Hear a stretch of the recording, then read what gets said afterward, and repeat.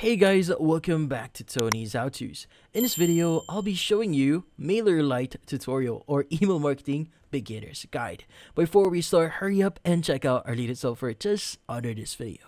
So let's get started. So in this case, you might be a beginner in uh, basically email marketing and you're looking for a tool and you stumble upon MailerLite here.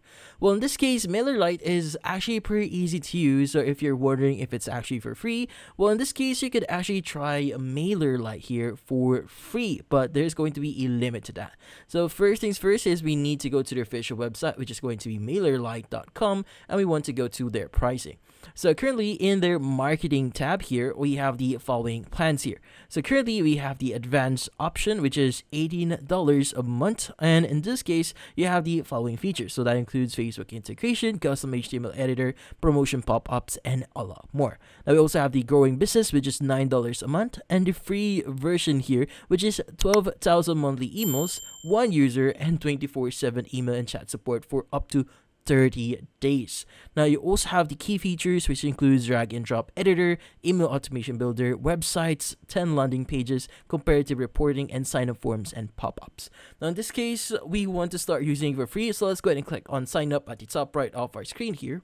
And from here, what we need to do is we need to fill out all the necessary details. So that includes their company, the name, email address, and password that you want to use for your account. Or you could use your Google account or your Microsoft account here to sign up.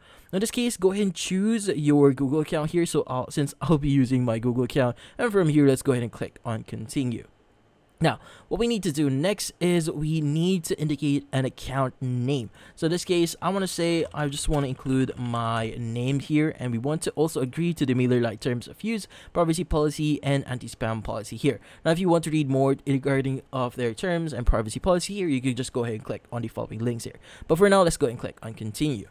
Now, in this case, the next page that you'll be seeing here is going to be an email verification page if you prefer signing up manually. Now, since I actually use my Google account to uh, basically create my account, I won't have any any have or any of those problems because in this case, uh, my email is already verified this case, what we need to do next is we need to view what are the things that we can do here. So dashboard uh, in this left panel here, this contains most of the pages that we could actually access. So dashboard would contain uh, the uh, general information about our account this case, this includes the uh, welcome page or welcome to MailerLite section here. So in this case, it already has two of the following steps, which is signing up and email verification already done for me. So we just need to complete our profile. This case, I would suggest you to click on the uh, complete profile option here. So let's go and click on complete here. And from here, you just need to provide the following details. So that includes your first name, your last name here, as well as your time zone that you want to use. Now in this case, what we need to do next is fill out all information here. So for example, I want to say I'm into, let's just game games here.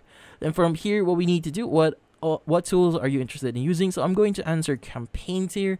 And from here, let's go ahead and confirm that. In this case, uh, typically, uh, you should be able to see the next step at the bottom right here.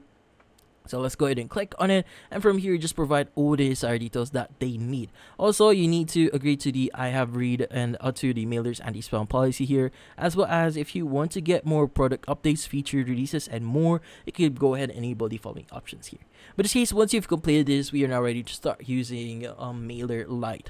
So in this case, what we need to do first is we first have to uh, basically uh, create our subscribers. So typically at the left panel here, you should be able to see subscribers. So what are subscribers? Where subscribers are going to be people who are actually subscribed to your um, email marketing or your email. So in this case, your subscriber uh, directly means people who are actually directly uh, receiving your emails. So in this case, if you want to add subscribers, you could just go to subscribers here and just click on the add subscribers at the top right of your screens uh, screen. Now from here, you could go ahead and drag a CSV file here if you have that or a TXT file. But in this case, you could also add a singular subscriber here. Or if you want to copy and paste it from your Excel, you could go ahead and choose that as well. But for now, we are going to add a singular subscriber. So for this example, I'm going to add my email here and the following uh, name here. In this case, once we've done that, we could go ahead and click on add subscriber. Now, if you want to add more fields into the name, go ahead and click on show more fields here and fill out all the details needed. In this case, let's go ahead and click on add subscriber. Now, once you've done that, it's going to see, uh, gonna say save. So let's just go back into subscribers. And from here, you should be able to see the following subscribers that you have right now. Now, also within subscribers, you have segments and we also have a group. So segments are dynamic lists of your subscribers based on their attributes and behaviors. Now, it's actually quite different to groups. So groups allows you to organize your subscriber based on interests, actions, and more. So that's the difference between segments and groups. So if you want to group them according to your interests, like for example, they are going to be uh, more interested on, let's say, uh, on retail or in t-shirts or in jackets, you could basically group them into that specific category. Now, also you have fields here, stats, and cleanup, inactive. So if anyone is inactive in your list, you could actually uh, clean them up in here. They also have the history here. So in this case, you should be able to see the subscriber history that uh, is coming into your account. Now also we have forms here. Now you might be wondering how do we, how do we capture people uh, so that we'll be able to uh, basically give out subs uh, sub email marketing without you actually entering their details first. Well, you can actually create forms. So in this case, let's go ahead and click our form here. Now, what we need to do is we need to enter the name of our form. So I'm doing going to say test uh, form here. And from here, let's just say a pop-up will do good for us. So let's go ahead and click on save and continue. Now from here, what we need to do is we need to uh, basically create our subscriber group. So in this case, let's go, let's go and click on create group here. And let's just say test subscriber group. And from here, let's go and click on create. Now from here, what's, what we want to do is we want to select this one, click on continue. And once we've done that, we now want to start creating our pop-up. Now in this case, let's go ahead and choose whatever option you want to choose here. So for example, I want to use this one. So let's go and click on choose. Now, once you've chosen your template here, it should redirect you to another page. Now, on this page, you should have the capability to basically edit your form. Now, in this case, if you want to customize it further, like for example, change a few text here, you can just double click on it and change the text that you want to say. So for example, I'm going to add a test here. And from here, you could even add different designs, like for example, headings, buttons, inputs, countdowns, and a lot more. But for now, we are good with the design here and we just made some minor changes here. Now in this case, let's go and click on done editing at the top right here. And once we've done that, we are now ready to start using it. In this case, we have the behavior here. You could even change that. So let's go ahead and click on save changes. But if you want to change one of the following options here, you could go ahead and do that. But for now, let's go ahead and get this by default. Now in this case, you have the JavaScript tracking snippet here and show on click event uh, options as well. In this case, you need to basically integrate or add all this code here that you have or you'll be seeing on your screen on your website.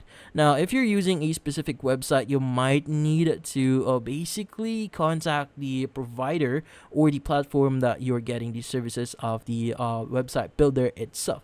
But for now, let's go and click on continue and from here you should be able to see the form itself. Now if you want to change anything here you could go and click on edit design even edit groups and basically enable it. Or for example if you want to see analytics automations and a lot more now, obviously, it's going to there's going to be a lot of things that you could do here, but for now, we're just sticking to the basics. Now, if you want to start creating your form or your uh, basically the uh, the campaigns for your account, you can go and get, go to the campaign section here, and from here, let's go and click on create. Now, there's going to be multiple campaigns that you could choose from, like regular campaign, A and B split campaign, RSS campaign, auto resend campaign, and multivariate campaign. But for now, we're going to use the regular campaign. Now, for example, we want to enter the following details here. So let's just say I'm going to name this as test campaign. And from here, we want to add a subject. So for example, I want to say test email here. Now the pre-header, you could go ahead and uh, add it. For example, I'm going to add a test a pre-header here, but you could add whatever you want here. So for example, we want to add subscribers here. So in this case, you could go ahead and choose all subscribers here or choose from the available groups. So I want to send this to all my subscribers. Let's go ahead and choose this one. Click on select. And from here, what we need to do is we should be able to preview at the right side here. In this case, let's go ahead and click on next. And from here, what we need to do is we need to edit our our email. In this case, you could even you could start from scratch here or even choose from the template gallery that I have. So for now, we're going to start using one of the template gallery here. So for example, I want to use this one. Let's go and click on choose. Now from here, it should redirect you to another tab, which in this case, again, you'll be able to see the editor for your email campaign. Now, in this case, this is going to be a drag and drop option. So in this case, maybe you want to add like a little element here. So for example, I want to add a small video. You could just basically drag it into your email here. As you can see, we have our e-video here. Now, if you want to change a few things, you can go ahead and click on that specific element. And as you can see, you have the option to add your video. So just indicate your video URL here and change the background itself if you want to. Now, if you want to delete an element, just click on the delete option at the top right here. And if you want to add special options like uh, specials, you have the survey, quiz, you also have the e-commerce here if you want to sell something. You have the gallery, blog, RSS, the hero section, the sections, uh, as well the elements and the content and save blocks if you have those. But in this case, once you're done, you can just go ahead and click on done editing here and you should be able to start sending out your email campaign. And that's about it. So in this case, you can go and click on send test here and from here, once you've tested it, you should be able to see a send button at the bottom right of your screen. Now, by the way, you need to first verify your emails, or in this case, it's going to say ready to get started. Confirm your account to start sending emails and publishing sites. So you need to get confirmed first. So you need to provide some form of identification. In this case, once you confirm your account and send the test email here, you should be able to have the send email option now available to you. But in this case, that's about it. So if you found this video helpful, hit the like and subscribe button and watch our next video.